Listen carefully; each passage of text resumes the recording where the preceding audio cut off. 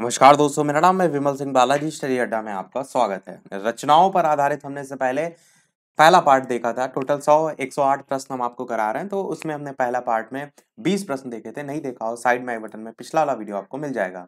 आज हम देखेंगे उसके आगे के 21 से लेकर 40 तक प्रश्न, जिसमें प्रमुख लेखक, कवियों का सामान्य परिचय, उनकी रचनाओं पर आधारित प्रश्न होंगे। चलिए शुरू करते हैं प्रश्न नंबर इक्कीस से। और ये प्रश्न आपके यूपी टेट और सुपर टेट दोनों के लिए इंपॉर्टेंट है। तो प्रश्न आपका है कि आनंद कादम्बनी जो है, उसका प्रकाशन कहाँ से जो है, वो होता है? बनारस, मिर्जापुर, इलाहाबाद या लखनऊ? बताइए इनमें से कौन सा जो है, वो सही होगा। ये सब आप एकदम रट लीजिए, क्योंकि बार बार क्वेश्चन ये सब आते हैं। तो जब आपका सुपर टेट की जब भी परीक्षा होगी, अभी तो वैसे कोई आसार दूर दूर तक नहीं है। माध्यमिक विद्यालयों में जो है, भर्ती की बात आ रही है फिर से। पर यहाँ पर आपको सुपर टेट के लिए पहले से तैयार रहना है। और यूपी टेट की परीक्षा के लिए भी तैयार रहना है, जो कि आपकी जल्द होने वाली है। आंसर की बात करते हैं तो आनंद कादम्बरी का जो प्रकाशन है, वो सबसे पहले आपको पता होना चाहिए तो 1881 ईस्वी में जो है वो, इन चारों ऑप्शन में से अगर बात करें तो कहाँ से? मिर्जापुर से प्रकाशन जो है वो होता था, नाम आपको पता होना चाहिए, बद्री नारायण शॉर्ट में लिख दिया मैंने, बद्री बद्री नारायण चौधरी प्रेमघन जो है इनके द्वारा मिर्जापुर से आनंद कादम्बनी का प्रकाशन होता था 1881 में होता था। और आप कोशिश ये किया करिए कि कोई भी चीज़ याद कीजिए, उसको छोटी मोटी ट्रिक से जोड़ते हुए याद कीजिए ताकि आपको लंबे समय तक याद रहे। अब देखिए, यहाँ पर ट्रिक कैसे बनेगी? नारायण वर्ड आ रहा है। नारायण आप जानते हैं, प्रभु जो है, नारायण नारायण बोलते थे। तो वो आप अगर खुद बोल रहे हैं तो आपको क्या आएगा? आनंद आएगा। अंदर से जब आप प्रभु में ईश्वर में मन लगा रहे हैं, ध्यान लगा रहे हैं, ये ट्रिक है आपकी, ऐसे आप जोड़ सकते हैं तो आपको क्या आएगा, आपको आनंद आएगा। और आनंद को ही दूसरे तरीके से क्या कह सकते हैं, आप कहेंगे, आपको मज़ा आएगा। तो मज़ा से मिर्जापुर याद रख सकते हैं और आनंद से आनंद कादम्बनी याद रख सकते हैं और नारायण से बद्री नारायण चौधरी प्रेम घन ये नाम भी याद रख सकते हैं। तो आनंद कादम्बनी पत्रिका का प्रकाशन मिर्जापुर से होता था, एटीन ईस्वी से। बद्री नारायण चौधरी प्रेमगंज दो बाईस प्रश्न देखते हैं। आचार्य रामचंद्र शुक्ल का निबंध संग्रह कौन सा है? माटी का फूल, चिंतामणि, छड़, बोले, कड़ मुस्काए या फिर आलोक, पर?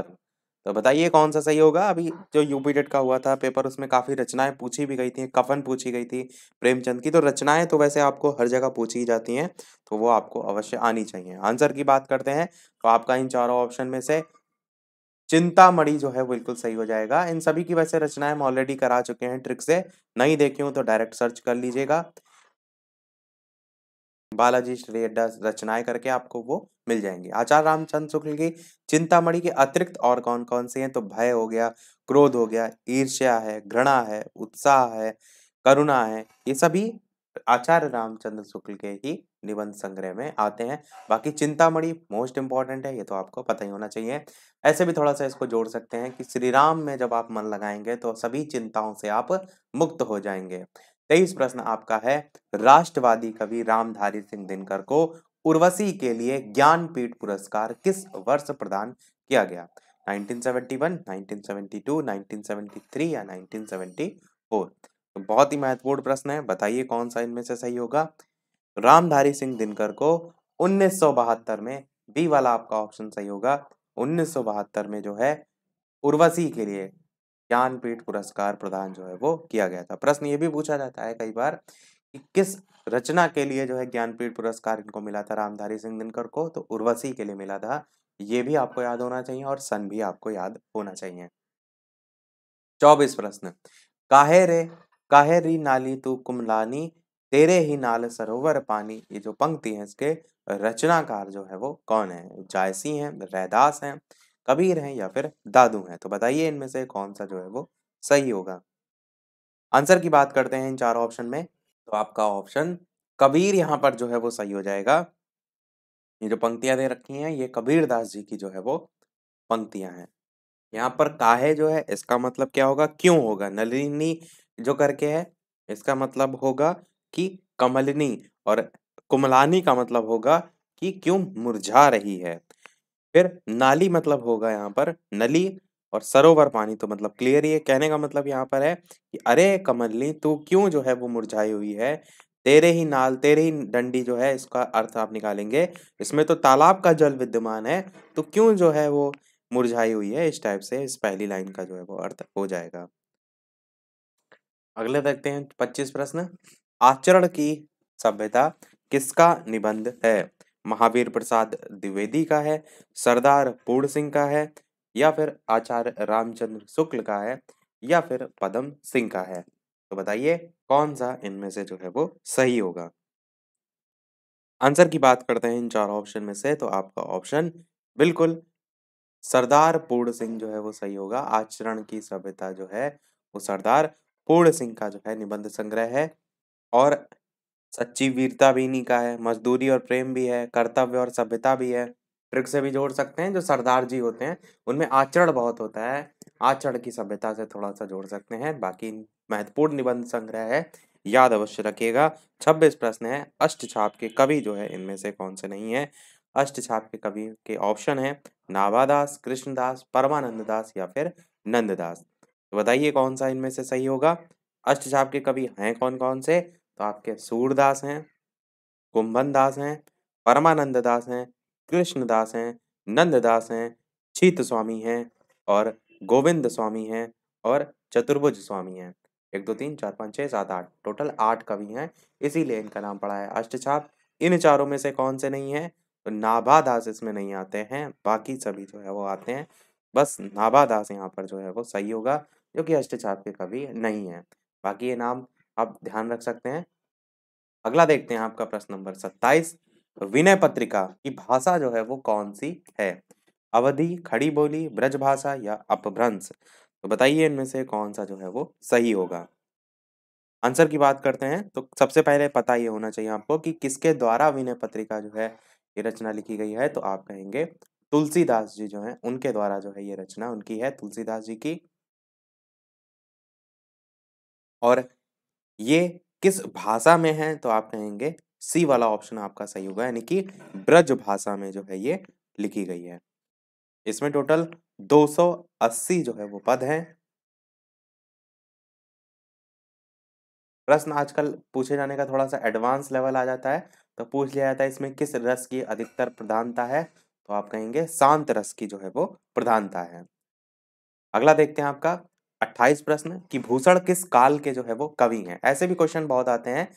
वीर गाथा काल, भक्ति काल, रीति काल आदिकाल बताइए कौन सा सही होगा? इसके अलावा वीडियो पसंद आए, चीज़ें समझ आए लाइक भी अवश्य करते रहिएगा। मुझे भी मोटिवेशन मिलता रहे आपके एक लाइक से। तो आंसर की बात करते हैं। तो जो भूषण है, महाकवि भूषण है, ये संबंधित है आपके। रीतिकाल से जो है वो संबंधित रीतिकाल आपका सही होगा। इन्होंने छत्रसाल दशक, शिवराज भूषण, इनकी ये सब रचनाएँ हैं जो इन्होंने लिखी हैं। और अच्छा रीतिकाल में कौन कौन से आपके कवि आते हैं? तो आपके केशव दास इसमें आते हैं, पद्माकर इसमें आते हैं, बिहारी आते हैं इसमें, घनानंद आते हैं। घनानंद से एक बार क्वेश्चन आ भी चुका है आपके, यूपी टेट या किसी पेपर में आ चुका है। तो आपका रीतिकाल सही हो जाएगा। अगला देखते हैं, उनतीस प्रश्न, कवितावली के रचनाकार जो है वो कौन है? सूरदास, जायसी, तुलसीदास या फिर घनानंद?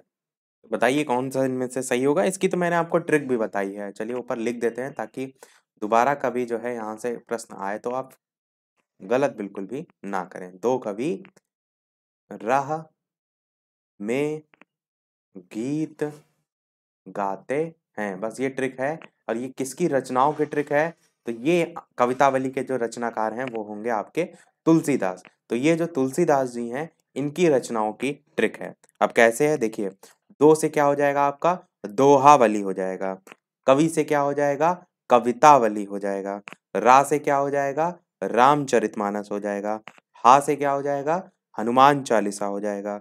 और मैं आपका यहाँ पर साइलेंट रहेगा। इसके नीचे लाइन खींच देते हैं। गीत से आपका क्या हो जाएगा? गीतावली हो जाएगा। और गाते हैं भी यहाँ पर साइलेंट रहेगा। तो आपकी कितनी रचनाएँ हुई?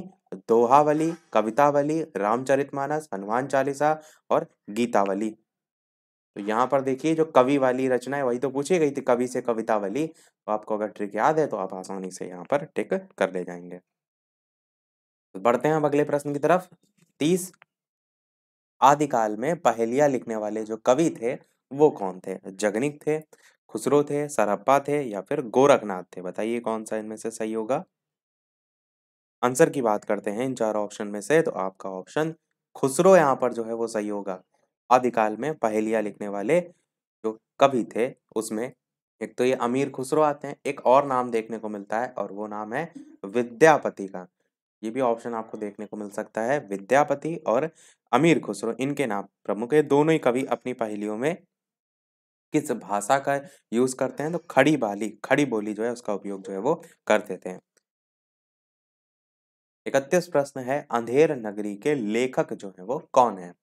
प्रताप नारायण मिश्र हरिकृष्ण प्रेमी, भारतेंदु हरिश्चंद्र राम कुमार वर्मा। तो बताइए कौन सा इनमें से सही होगा? अंधेर नगरी के लेखक जो है वो कौन है? आंसर की बात करते हैं तो भारतेंदु हरिश्चंद्र आपका सही होगा। ये भी रचना जो है आपको याद होगा। तो मैंने पूरी एक कहानी बताई थी भारतेंदु हरिश्चंद्र की कि कैसे आप सभी रचनाओं को याद कर सकते हैं। वो देख लीजिएगा। मैंने पहले बताया बालाजी स्टडी अड्डा रचनाएँ करके सर्च करेंगे, पूरी प्लेलिस्ट मिल जाएगी आपको रचनाओं को याद करने की। तो ये अंधेर नगरी के लेखक कौन है? तो आप कहेंगे भारतेंदु हरिश्चंद है और इनकी जो रचनाएँ है उसमें सत्य हरिश्चंद है, भारतेंदु हरिश्चंद की और कर्पूर मंजरी है, भारत दुर्दशा है वैदेही हिंसा हिंसा न भवती करके वो भी आपकी वैदेकी करके पूछ ली जाती है। अगला बत्तीस प्रश्न है, हिंदी प्रदीप पत्रिका जो है उसका संपादन जो है वो किसने किया? बद्री नारायण चौधरी प्रेमगन, या बालकृष्ण भट्ट, या फिर प्रताप नारायण मिश्र, या फिर भारतेंदु हरिश्चंद्र। अच्छा देखिए, अभी ट्रिक आपने याद की तो आपको तुरंत यहाँ पर याद आएगा, नारायण, अगर आप बोल रहे हैं, नारायण नारायण तो क्या आपको आनंद आएगा? तो आनंद से आनंद कादम्बनी जब पूछी जाएगी, तब आपको बद्री नारायण चौधरी प्रेमगन जो है, इसके साथ जाना है। और कहाँ आनंद के साथ साथ क्या आता है? मज़ा भी आता है। तो मज़ा से आप मिर्जापुर भी याद रख सकते हैं कि आनंद कादम्बनी कहाँ से निकलती है? मिर्जापुर से। तो ये वाला ऑप्शन कट जाएगा क्योंकि वो तो हम याद कर चुके हैं ऑलरेडी अब बालकृष्ण भट्ट, प्रताप नारायण मिश्र और भारतेंदु हरिश्चंद्र। एक चीज़ यहाँ पर ध्यान देने वाला है कि बद्री नारायण में भी नारायण आ रहा है, प्रताप नारायण में भी नारायण आ रहा है। इसको लेकर कंफ्यूज ना होइएगा। आप चाहें तो ट्रिक में एक पार्ट और जोड़ सकते हैं कि जब नारायण नारायण आप जो है वो बोलते हैं तो प्रेम रूपी घन जो है, बादल आ जाते हैं प्रेम रूपी और फिर आपको जो है वो मज़ा आता है, मज़ा से मिर्जापुर, फिर आपको आनंद आता है, आनंद कादमनी तो ऐसे भी थोड़ा सा पूरा नाम जोड़ सकते हैं। इनमें से आंसर कौन सा सही होगा? तो आपका आंसर यहाँ पर सही हो जाएगा, आपका बिल्कुल बी वाला, यानी कि बाल कृष्ण भट्ट। बाल कृष्ण भट्ट जो है, ये हिंदी प्रदीप जो पत्रिका है, इसका संपादन इन्होंने किया था। अब इसको भी आपको ट्रिक से जोड़ना है। तो थोड़ा सा ऐसे जोड़िए एक दिया जल रहा है और दिया जो है इसमें इस टाइप से जल रहा है। अब छोटे बच्चे को की आदत क्या होती है? कुछ भी पकड़ लेते हैं। तो बाल कृष्ण जब थे, छोटे थे तो वो इस दिया को जो है वो पकड़ने गए, ऐसे हाथ से पकड़ने गए। तो दिया से आप जो जल रहा है, इसको क्या कहेंगे? प्रदीप, ऐसे याद रखिए। प्रदीप, दीप्त दीप मान जो है वो जिया है, दिया है और उसको क्या है? जो बाल कृष्ण है कृष्ण है, छोटे हैं, उनको नहीं पता है तो वो पकड़ने गए। तो उनकी माता जी ने उनको डांट दिया गया भट्ट! ऐसे करके डांट दिया। तो बाल कृष्ण भट्ट से याद रख सकते हैं किसको? प्रदीप को। और हिंदी प्रदीप जो है वो आपके बाल कृष्ण भट्ट है पत्रिका के संपादन तो इसको भी ज़रूर ध्यान रखिएगा। मैं ट्रिक उनमें उनमें बता रहा हूँ जो बार बार रिपीट होती हैं। अब बार बार आए, फिर आप चार ऑप्शन में गलत कर लें। इससे अच्छा है थोड़ी सी ट्रिक जोड़िए और हमेशा के लिए याद कर लीजिए। तैतीस प्रश्न देखते हैं। निम्नलिखित में से कौन सा निबंध हजारी प्रसाद द्विवेदी का नहीं है? अशोक के फूल कुटज, विचार प्रवाह, व्रत और विकास। देखिए, कई बार रचनाएँ बहुत सी याद करने का एक फ़ायदा ये होता है कि चार ऑप्शन में से भी आप काट सकते हैं कि आपको पता है कि कुटज किसकी है, आपको पता है विचार प्रवाह किसकी है, ऐसे भी आंसर तक पहुँच सकते हैं। तो यहाँ पर हजारी प्रसाद द्विवेदी की नहीं पूछा गया है। तो आपको पता है अशोक के जो फूल हैं, ये वाले, ये बहुत पूछी जाती है किसकी रचना है तो ये हजारी प्रसाद द्विवेदी जी की ही है। कुटज भी हजारी प्रसाद द्विवेदी जी की ही है। विचार प्रवाह भी हजारी प्रसाद द्विवेदी की है, पर व्रत और विकास जो है, ये इनकी नहीं है। तो डी वाला आंसर सही होगा, पर अशोक के फूल ज़रूर याद कर लीजिएगा, क्योंकि इन चारों रचनाओं में अशोक के फूल सबसे ज़्यादा पूछी जाती है तो वो आपको पता होना चाहिए। चौतीस प्रश्न आपका है, मृगावती किसकी रचना है? बताइए। उस्मान की है, मंझन की है, कुतुबन की है, या फिर जायसी की है? बताइए कौन सा इनमें से सही होगा। तो 1503 ईस्वी में मृगावती और एक थी राजकुंवर।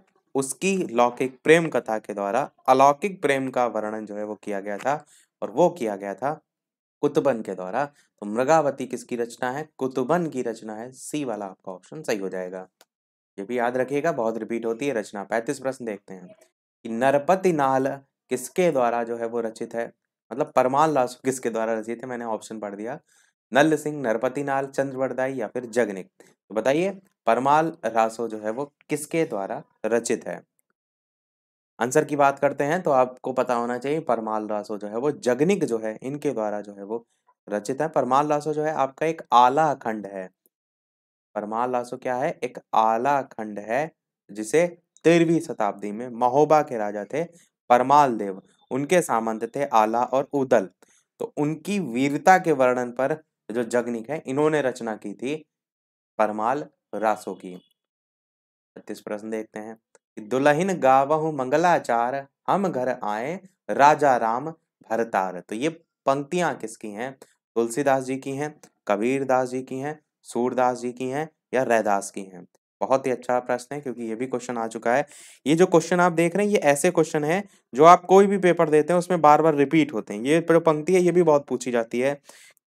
तो बताइए कौन सा सही होगा? आंसर की बात करते हैं तो आप क्या कहेंगे कि ये जो पंक्तियाँ हैं, वो आपकी कबीर दास जी की हैं। कबीर दास जी ने कहा था, दुलहिन गावहु मंगलाचार, हम घर आए राजा राम भरतार। कहने का मतलब क्या है? अर्थ क्या है इसका? अर्थ इसका ये निकल रहा है कि दुल्हन गावहु मंगलाचार मतलब कबीर दास जी ये कह रहे हैं कि जो सुहागिन नारियाँ हैं दुल्हन उन्हीं को कहा गया जो सुहागिन नागरियाँ हैं। नारिया, अब तुम विवाह के अवसर पर जो गाए जाने वाले मंगल गीत होते हैं, मंगलमय गीत होते हैं, उनको गाओ। हम घर आए राजा राम भरतार मतलब कि जो आज है, वो मेरे घर, में मेरे पति रूपी राजा राम अर्थात परमात्मा आए हैं तो उनके आने की खुशी में कहा जा रहा है कि मंगल गीत गाओ।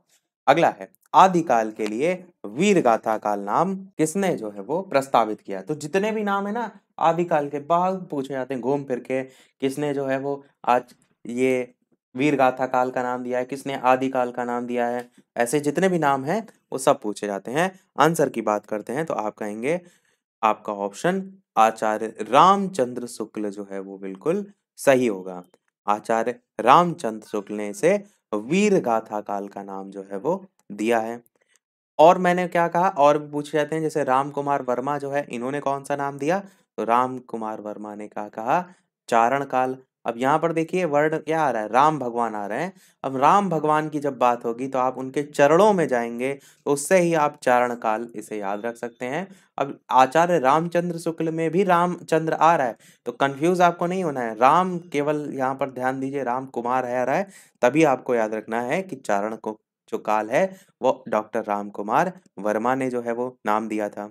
ठीक है? फिर राहुल संकृत्यायन राहुल संकृत्यायन ने क्या नाम दिया? इन्होंने कहा कि ये सिद्ध सामंत काल था। क्या काल, कैसा काल था? सिद्ध सामंत काल था। अब महापंडित हैं तो जो महापंडित होते हैं ना, वो क्या करते हैं? सिद्धि प्राप्त कर लेते हैं। और उससे थोड़ा सा आप जोड़ सकते हैं राहुल शंकरात्यायन को, या तो फिर आप राहुल नाम का कोई आपका कोई मित्र हो, उससे जोड़ सकते हैं कि उसे सिद्धि प्राप्त हो गई है, उससे सिद्ध सामंत काल जोड़ सकते हैं। फिर एक तरीका ये भी हो सकता है सांकृत्यायन देखिए थोड़ा सा संस्कृत वर्ड से मिलता जुलता हो रहा है। संस्कृत में अगर आप श्लोक बोल पा रहे हैं, क्योंकि जो पंडित पढ़ता है ना मंत्र, वो कैसे पढ़ता है? संस्कृत में पढ़ता है तो वो ही सिद्धि प्राप्त करता है तो उससे भी जोड़ के याद रख सकते हैं। तो जो इन तीनों में आपको आसान लगे, देखिए महापंडित से जोड़ने में थोड़ा सा ये कठिनाई है कि अधिकतर जगह राहुल संकृत्यायन ही आपको देखने को मिलेगा तो कोशिश कीजिए या तो राहुल से जोड़िए या तो संकृत्यायन से जोड़िए। आचार्य रामचंद्र शुक्ल वीर गाथा काल इसको भी जोड़ लीजिएगा, क्योंकि ये तो सबसे ज़्यादा इंपॉर्टेंट सबसे ज़्यादा पूछा जाता है। तो रामचंद्र में जो है, राम से ही जोड़ लीजिए कि वो जो है, वो वीर थे। यहाँ वाले राम कुमार से जोड़ना है कि चारण चरणों में पड़े रहना है। तो चारण काल आचार्य हजारी प्रसाद द्विवेदी, इन्होंने क्या नाम दिया था? तो इन्होंने ही ये नाम दिया था, वो नाम था आदिकाल। तो सबसे मेन नाम तो यही है। अब आदि मतलब क्या होता है? अनंत वर्षों तक। हजारी मतलब क्या होता है? हज़ारों वर्षों तक। तो आदिकाल हज़ारों वर्ष तो आचार्य हजारी प्रसाद द्विवेदी से आप याद रख सकते हैं कि इन्होंने आदिकाल का आदिकाल का ही नाम दिया। मतलब नाम ही उसका आदिकाल था। वो एक्चुअल नाम इन्होंने ही दिया था। वीर गाथा काल भैया रामचंद्र शुक्ल ने दिया था। राहुल शंकराचार्य ने सिद्ध सामंत काल दिया था। राम कुमार वर्मा ने चारण काल दिया था। अगला देखते हैं आपका। अगला कह रहा है कि रामचरितमानस की भाषा जो है वो क्या है? अवधि भाषा है, ब्रज भाषा है, खड़ी बोली है या फिर भोजपुरी है? तो बताइए कौन सी है? तो आप कहेंगे आचार्य रामचंद्र जो रामचरित मानस है, इसकी भाषा जो है वो अवधि भाषा है।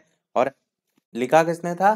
तो गोस्वामी तुलसीदास जी ने लिखा था। अभी हमने देखा था ना एक ट्रिक, दो कवि राह में गीत गाते हैं तो राह से जो है आपका रास है, रामचरित मानस ही तो था तो वैसे भी आप याद रख सकते हैं कि तुलसीदास जी की जो है ये रचना है। सेकंड लास्ट प्रश्न है, इस वीडियो का, इसके बाद लास्ट प्रश्न होगा और एक प्रश्न हम आपसे भी पूछेंगे कि आनंद कादम्बनी के संपादक जो है वो कौन थे? देखिए, ट्रिक से याद किया था, हमने क्या बताया था?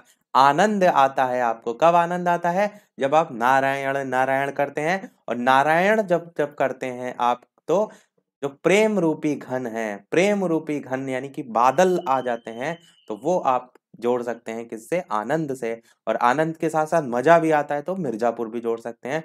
तो आपका बद्री नारायण चौधरी प्रेम घन आंसर जो है वो हो जाएगा। चलिए देखते हैं अगला और इस वीडियो का लास्ट प्रश्न। इसके बाद एक प्रश्न हम आपसे भी पूछेंगे। जैसा कि सभी वीडियो में हम आपसे एक न एक प्रश्न पूछते हैं। चालीस प्रश्न आपका लास्ट प्रश्न है, क्योंकि टोटल बीस प्रश्न हमने कहा था। देखिए, यहाँ पर एक और नया नाम आ रहा है और वो नाम क्या है? महावीर प्रसाद द्विवेदी ने आदिकाल को क्या संज्ञा दी? हमने अभी देखिए चार याद किए, अब इसको भी अभी याद करेंगे, पर इसको प्रश्न को देखने से पहले वीडियो अभी तक आपने लाइक ना किया हो, सभी लोग वीडियो को लाइक भी करते रहिएगा। चैनल पर नए हो तो सब्सक्राइब करके भी जुड़ जाइएगा और टेलीग्राम चैनल से अभी तक ना जुड़े हो, लिंक आपको डिस्क्रिप्शन में मिल जाएगी। टेलीग्राम चैनल पर डायरेक्ट भी बालाजी स्टडी अड्डा सर्च करके जुड़ सकते हैं। तो प्रश्न आपका है, महावीर प्रसाद द्विवेदी ने आदिकाल को क्या संज्ञा जो है वो दी है? चारण काल की, आदिकाल की, वीर काल की या फिर बीज वपन काल की? तो बताइए कौन सा सही होगा? आंसर की बात करते हैं तो महावीर प्रसाद द्विवेदी ने जो नाम दिया है, वो नाम दिया है बीज वपन काल। डी वाला ऑप्शन आपका यहाँ पर सही होगा। अब इसको आप ट्रिक से कैसे जोड़ेंगे? देखिए, द्विवेदी में वर्ड आ रहा है वेद। पहले जब बात होती थी ना, बीज मतलब कि स्टार्टिंग की बात, अभी तो आप कॉपी किताबें पढ़ते हैं और उससे बहुत पहले जाएँगे, आज से हज़ार साल पहले मान लीजिए मतलब एक ट्रिक से जोड़ना है। आप ये नहीं कि हज़ार साल पहले आप चले गए, फिर कहेंगे वहाँ वेद नहीं है। मतलब कहने का केवल ट्रिक के लिए आपको याद रखना है कि आज से पहले काफ़ी समय जब उदय हो रहा था हमारे भारत देश का, हमारे पूरे संसार का तो वेदों के ज़रिए शिक्षा दी जाती थी और वेद से जो शिक्षा दी जाती थी वो कैसा है? बीज वपन, यानी कि जब पेड़ बड़ा होता है ना तो जब बीज उसमें डालते फिर धीरे धीरे बड़ा होता है। तो वही अब इस समय पेड़ बन गया पहले वो क्या था? बीज था और बीज के समय जो शिक्षा दी जाती थी, वो वेदों से दी जाती थी। तो दिव्य वेदी से याद रख सकते हैं बीज वपन काल को। तो महावीर प्रसाद द्विवेदी ने आदि काल को क्या संज्ञा दी है? बीज वपन काल को। अगर आपको पहले से याद है तो कोई आवश्यकता नहीं ट्रिक से याद करने की। अगर याद नहीं है तो ट्रिक से जोड़ लीजिए और इसको रट डालिए। चलिए अब एक प्रश्न आपके लिए भी, जैसे कि सभी वीडियो में हम आपसे एक ना एक प्रश्न पूछते हैं। तो ये है आपका इस वीडियो का प्रश्न, जिसका आंसर वीडियो के मेन कमेंट में टाइप करके आपको बताना है। बहुत ही अच्छा प्रश्न है, महत्वपूर्ण प्रश्न है। क्या आधुनिक हिंदी साहित्य की पहली आत्मकथा के लेखक जो है वो कौन माने जाते हैं? ए ऑप्शन है आपका बाबू श्याम सुंदर दास, बी ऑप्शन है आपका देवेंद्र सत्यार्थी, सी ऑप्शन है आपका हरिवंश राय बच्चन और डी ऑप्शन है आपका जयशंकर प्रसाद। तो इन चारों ऑप्शन में से कौन सा सही होगा? अपना आंसर वीडियो के मेन कमेंट में टाइप करके जो है वो बताइएगा। लाइव टाइमिंग दो है, दोपहर के तीन बजे और शाम के आठ बजे। तो लाइव आकर भी वीडियो आप देख सकते हैं, प्रश्नों की प्रैक्टिस कर सकते हैं। तो आज के वीडियो में इतना ही रखते हैं। मिलते हैं फिर अगले वीडियो में कुछ नए प्रश्नों के साथ, नए टॉपिक के साथ। तब तक के लिए नमस्कार। जय हिंद।